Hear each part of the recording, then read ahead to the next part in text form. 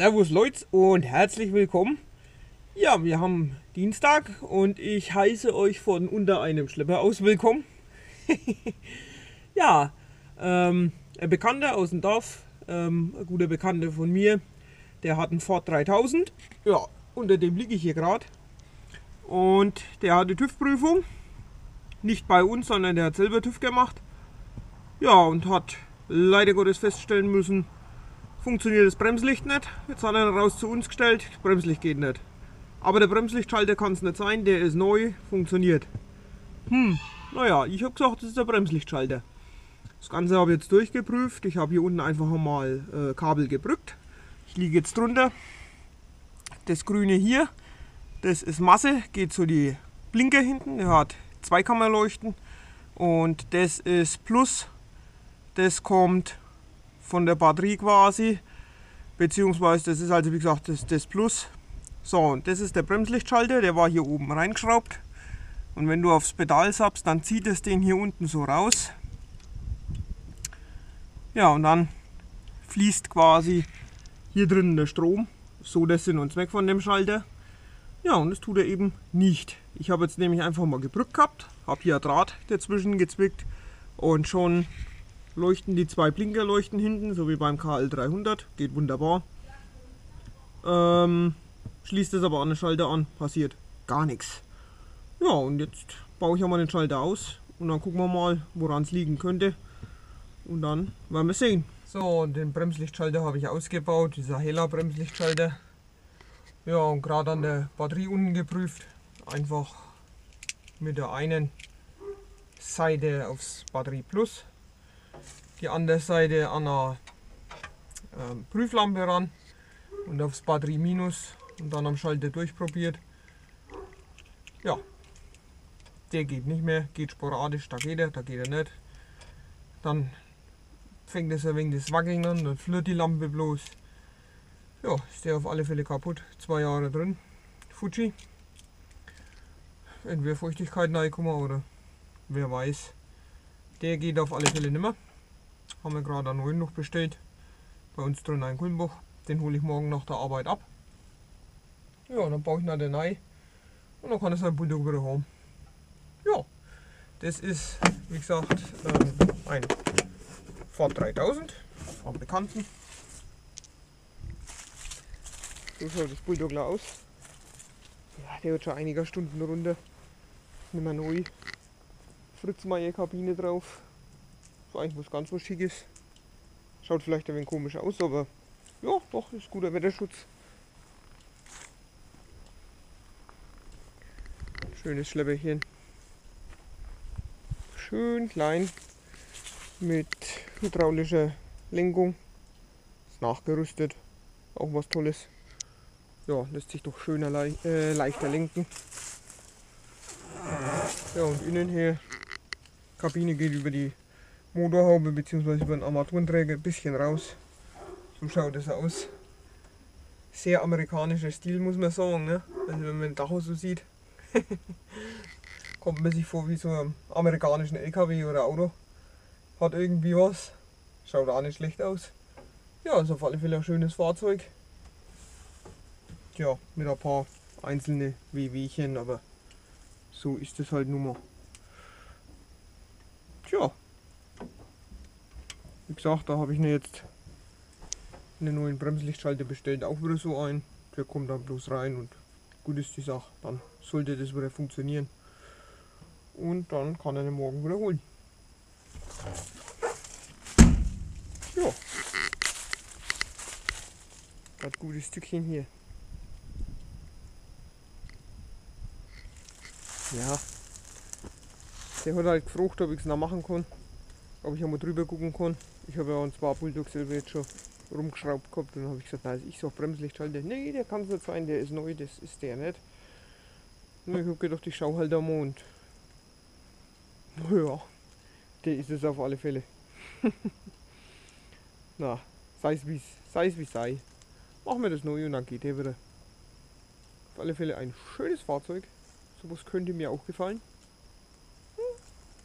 Mal gucken. Jo, so viel dazu. So Leute, wir zu unserem Problemkind äh, Ford 3000. Wir haben jetzt mittlerweile Mittwoch. Ich habe heute mal Futterkult gehabt, schon aussortiert, wie ich jetzt alle gemacht. Und ich habe heute den bestellten Schalter abgeholt. Ist genau dasselbe, baugleich wieder. Wird unten angeschraubt. Bremspedal wird hier eingehängt und dann zieht man quasi und dann sieht man hier oben fährt der Stift runter schaltet innen den Schalter und dann habe ich Durchgang. Ja, den baue ich jetzt ein. Das ist ja schön abgebildet, falls man es auf der Kamera überhaupt erkennt. Ja, beim Runterziehen schaltet er durch. Ja, und den bauen wir jetzt schnell ein. Und dann gucken wir mal, ob die Sache wieder geht. Erstmal den alten Schalter zerlegen. Da brauche ich die Schräubchen wieder, mit denen der fest war. Weil das ist so Schuster, der Adapterplatte da unten drin.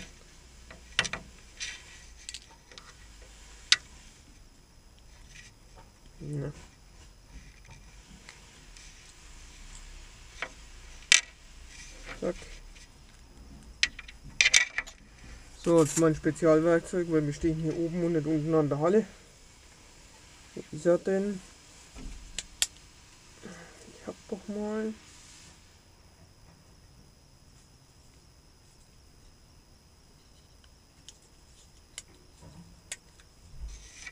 Wofür das billige Ding doch alles gut ist.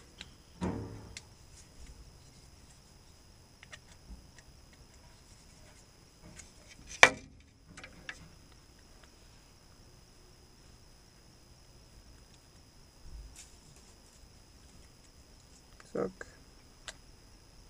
Zack.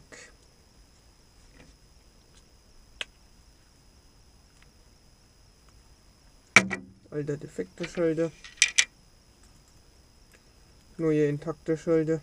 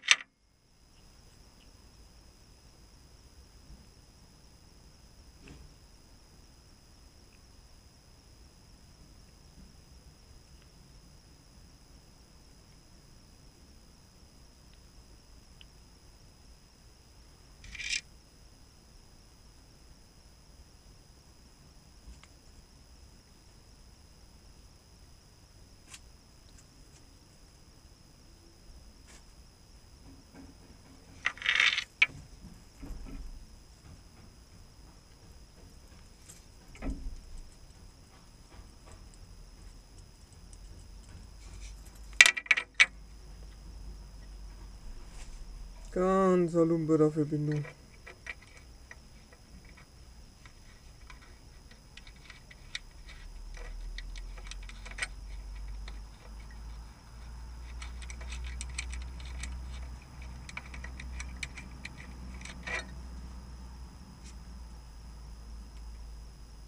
Das gefällt mir nicht.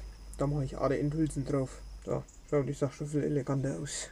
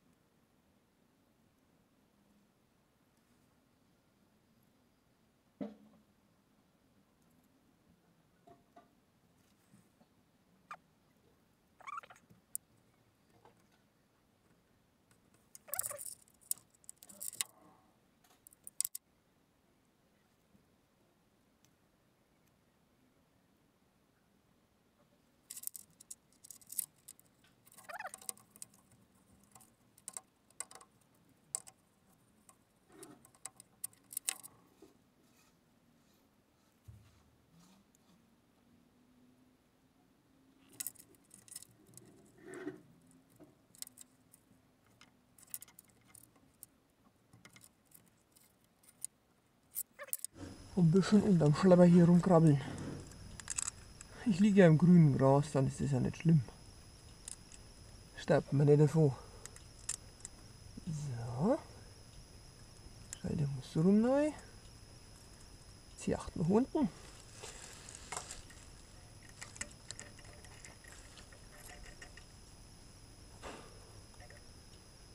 Wo war denn der? Eigentlich wäre es gescheiter, wenn er da daher sitzt. Statt in der Nähe. Nur so rein hypothetisch. Macht man ein weniger kaputt.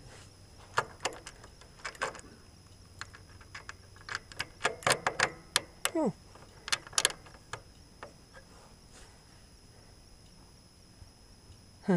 weiß warum. Federlatzelung. So, ein paar Minuten gefriemelt später. Bremslichtschalter ist jetzt eingebaut. Ich habe auch gleich den Fehler gefunden, warum der kaputt gegangen ist. Ähm, hat nämlich einen ganz einfachen, tollen, lustigen Grund. Ich gehe jetzt mal mit euch unter den Bulldog. Dann zeige ich euch das. Also, da sitzt er jetzt. Der schöne Bremslichtschalter. Es wird sauber verschraubt auf dieser Adapterplatte. Ja, und vorher war der Schalter in die andere Richtung gedreht, die Kappe nach hinten. Und ja, dann ist quasi der Schalter direkt hier, also diese Nase, über dem Pedal gewesen. Das heißt, die Feder hat am Pedal oben einen Knick nach innen gemacht und immer beim Runterziehen hat es dann den ganzen Schalter so richtig oben verbogen innen her. Gehe ich davon aus, ist der Kontakt innen kaputt gegangen. Ich habe jetzt den Schalter rumgedreht. Jetzt geht er quasi hier runter. Und wenn ich jetzt das Pedal betätigen tue, dann zieht es nur gerade runter und der entlastet dann auch schön. Ich hoffe, man erkennt überhaupt was, dass es nicht schon zu dunkel ist. So, und das Ganze müsste jetzt eigentlich auch funktionieren. Das können wir noch prüfen. Meine Stecker sind auch ein ziemlicher Push eigentlich. Naja. Dann machen wir mal die Zündung ein. Zack. Und treten mal das Pedal. Und, oh Wunder, oh Wunder, wir haben wieder Saft. Es leuchtet wieder was. Ja, also wie ich schon gesagt habe, Bremslichtschalter kaputt. Eigentlich eine relativ zügige Sache, wenn man weiß, wo man suchen muss und wie. Und ja, jetzt funktioniert es wieder ein bisschen blöd zum Nachkommen und dran zu popeln. Da wäre es wieder schön, wenn so ein Ding auf die Hebelbühne gehen würde. Einfach mal schnell hochgehoben und unten drunter gearbeitet, wäre bequemer. Aber es funktioniert auch so, man kommt ja runter. Angebaut ist es. Jetzt kann ich noch anrufen, der kann ihn wieder holen. Kann ihn wieder haben.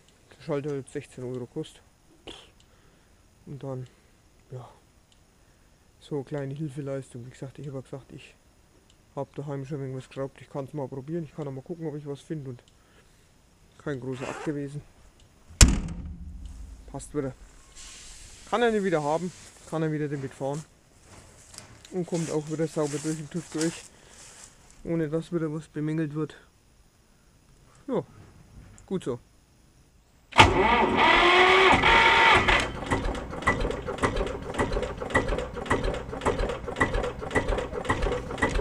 Er kommt schon.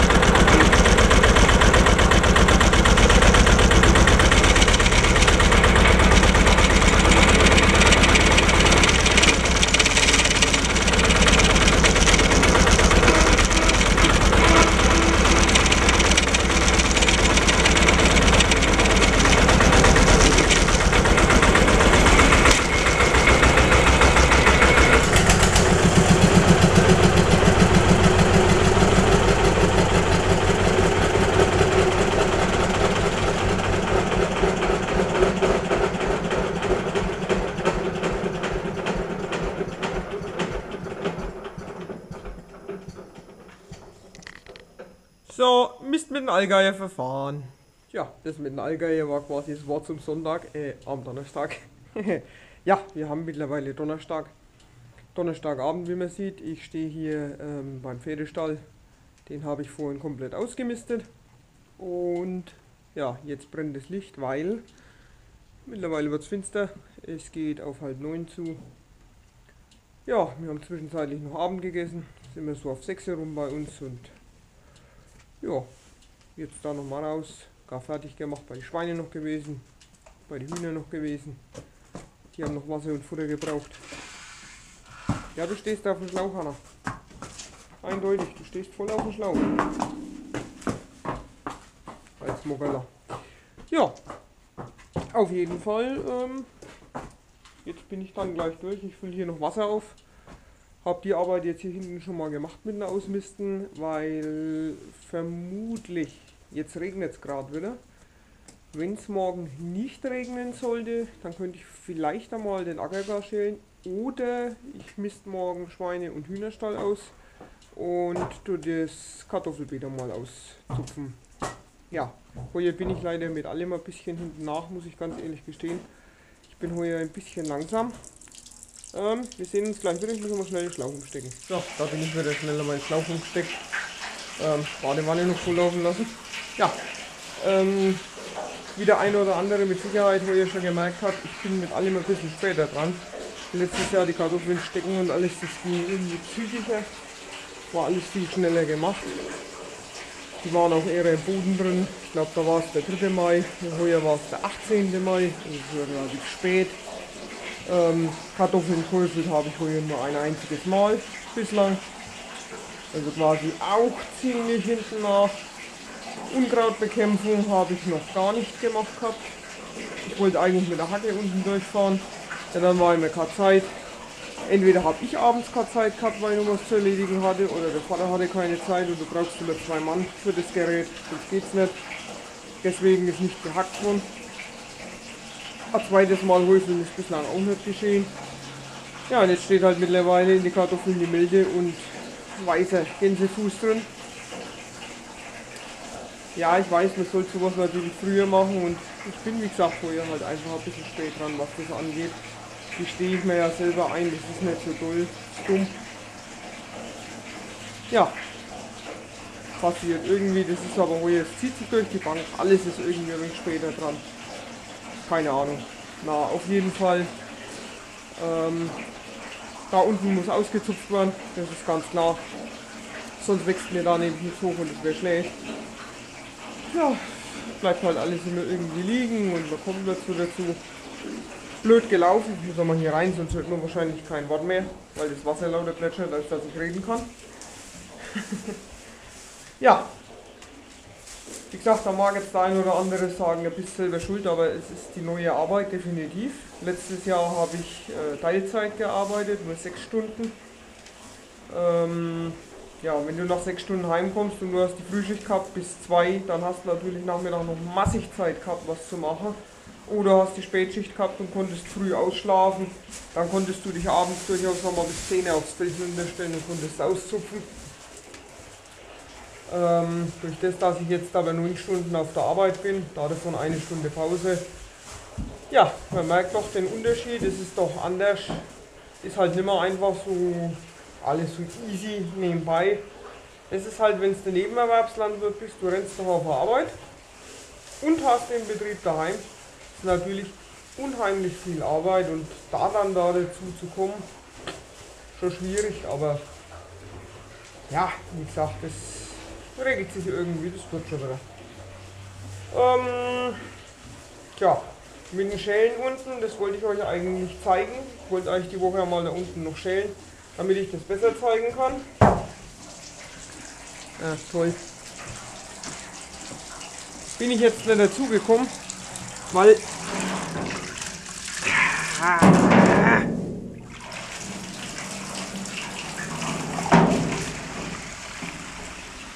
Ähnlicher Schlauch. Also heute ist eigentlich der Wurm drin. Ähm, weil immer wieder die Behauptung kommt, ja, warum ackerst du und warum grubberst du nicht erst?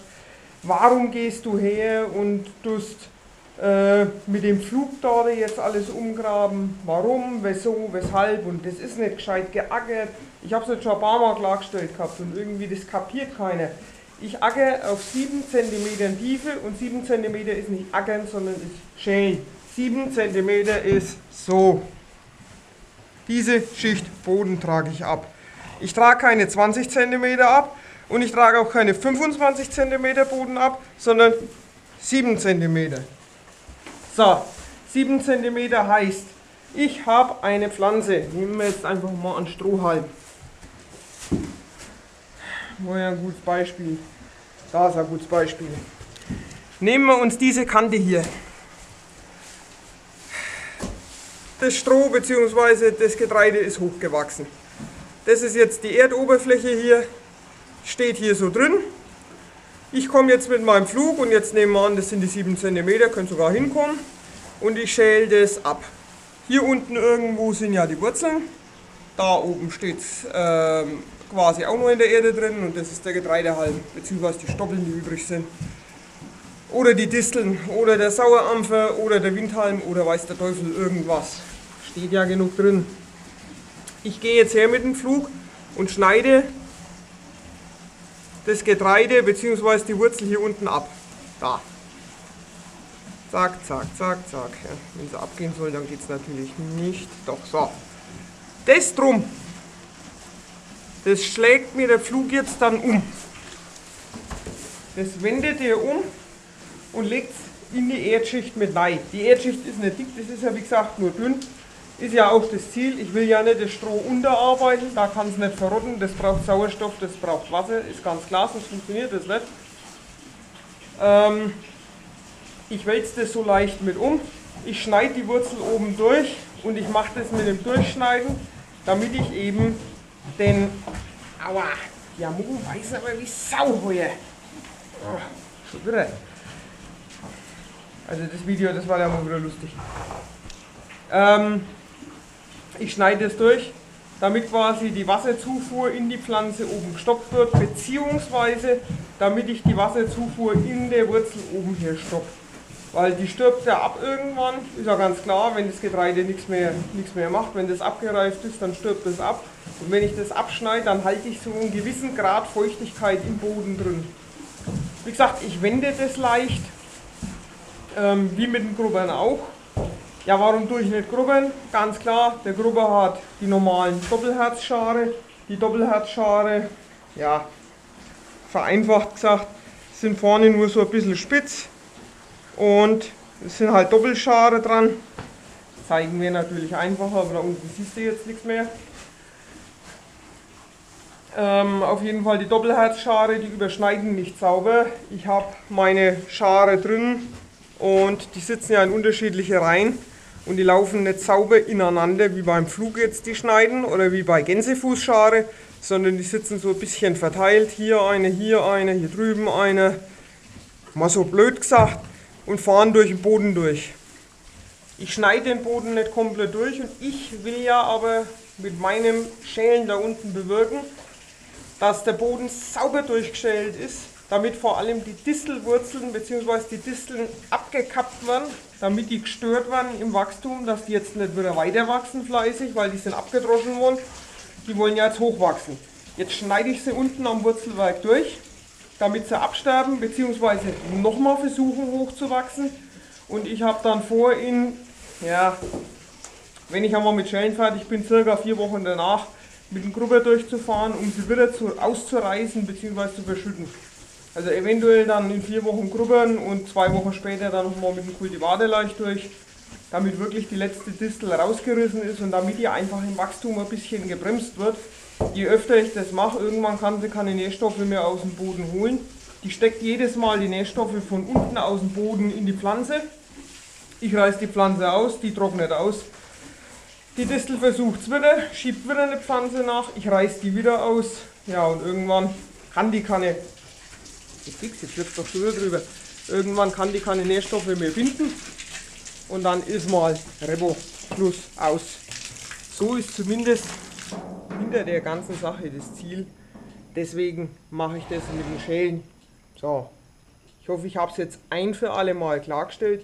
Weil immer wieder diese blöde Behauptung kommt, ja warum machst du das so und das ist doch voll bescheuert und man tut immer erst grubbern und dann ackern. Und wenn jetzt nochmal einer kommt, warum kaufst du dir keine Gänsefußschare für dein Kögerling-Grubber? Ganz einfach. Gänsefußschare auf den Grubber, habe ich ausgerechnet, liege ich bei knapp 1000 Euro. Wieso soll ich hergehen und für 1000 Euro Schare kaufen, wenn ich für das ganze Getreide da unten 1300 Euro gekriegt habe? Ja, so wenig Getreide oder äh, so viel kriegst du für das Getreide. 1300 Euro für 8,8 Tonnen. Ich habe erst überlegt, ob ich es überhaupt einmal dazu sage, aber warum eigentlich nicht? Weil es immer heißt, wir Landwirte verdienen uns ja dumm und deppert mit unserer Arbeit und wir können ja so oft in Urlaub fahren. Von wegen 8,86 Tonnen, 1300 Euro. Das ist der Lohn. Davon ziehe ich jetzt da noch ab, was ich da unten an Zeit gesteckt habe und dann ja, könnt ihr euch ja vorstellen, was da übrig bleibt. Es ist nicht viel, es bleibt ein Plus, ist klar, aber es ist definitiv nicht viel. Und ja, wie gesagt, bei dem Betrag, den wo ich verdient habe, gehe ich nicht her und kaufe 1000 Euro dann äh, Gänsefußschare. Ich habe diese Eichepflüge da unten stehen. Ich habe die beide günstig gekriegt. Okay, die könnte ich jetzt auch wieder sagen, ziehe ich ab, aber nein, die wollte ich unbedingt schon, weil ich selber Freude dran habe und weil mir das Spaß macht. Ich habe jetzt aktuell 6 Stunden Zeit da unten auf dem Acker verbracht. Ich habe da unten auf dem Acker 30 Liter Sprit verbraucht und äh, habe bislang 2,31 Hektar abgeschält. So. Und jetzt soll eine kommen und soll sagen, ich soll grubbern, weil mit dem IHC für dieselbe Fläche da unten brauche ich zum Grubbern ca. 4 Stunden. Ähm, habe dann aber, ich sage mal, ein Drittel von den Disteln vielleicht wirklich bekämpft. Und ja, habe mit Sicherheit das doppelte Anspruch rausgefahren. Der IHC hat einen größeren Motor, der IHC ist leistungsstärker und schwerer. Der braucht eindeutig auch mehr Sprit. Es ist einfach so nun mal, er fährt ein Haufen Gewicht mit sich rum. Der kleine Kramer, der braucht weniger Sprit, weil er einfach leichter ist und fürs Schälen, das ist kein großer Kraftaufwand in dem Sinne. So viel Boden muss der nicht umwenden. Von daher lasse ich das jetzt einmal einfach so in den Raum gestellt. Mag jetzt der eine denken, ja, das ist doch Blödsinn und es bringt ja überhaupt nichts. Ähm, wie gesagt, ich mache die Landwirtschaft im Nebenerwerb, beziehungsweise mir macht es auch Freude, ob ihr das jetzt zu hören wollt oder nicht und ob mich jetzt da jemand für einen Spinner hält oder nicht, wenn ich da runtergehe und schäle das mit so einem kleinen Zweischabflug ab. Ja, da gibt es Leute, die sagen dann, haha, was soll denn das sein, Nostalgiefilm oder was? Ist mir scheißegal. Ich probiere das auf meine Art und Weise. Andere geht her, der kauft sich jetzt Spritzmittel und fährt dann mit Spritzen unten auf. Ich will das nicht versuchen, habe ich keine Lust dazu. Ich versuche das auf meine Art und Weise. Wenn es klappt, ist recht. Wenn es nicht klappt, klappt es nicht. So, wie gesagt, ich lasse das jetzt mal so in den Raum gestellt. Mögen die Leute denken über mich, was sie wollen, das ist mir wurscht. Ähm, wollte ich jetzt, wie gesagt, einfach nochmal gesagt haben. Und ja, die Wasserkübel sind jetzt soweit voll.